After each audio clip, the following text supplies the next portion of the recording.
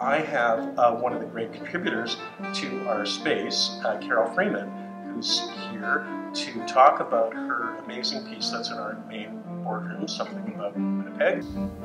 I started thinking about things that I learned in school. Um, so like Louis Riel, uh, La Andre, um, the 1919 strike, things like that.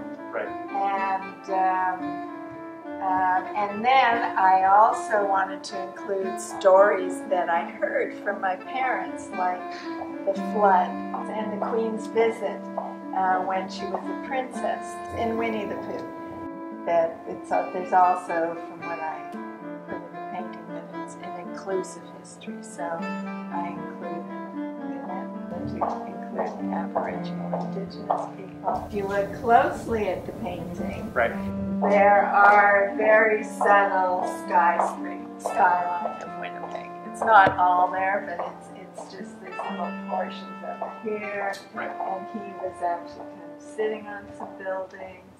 So great privilege for um, us to have your work here in our boardroom, and thank you so much for creating it and allowing us to share it with you. And I think, from my perspective, it's not just something about Winnipeg; it's a lot of things about Winnipeg and Manitoba. Thank you so much for speaking with us. My pleasure. Thank you.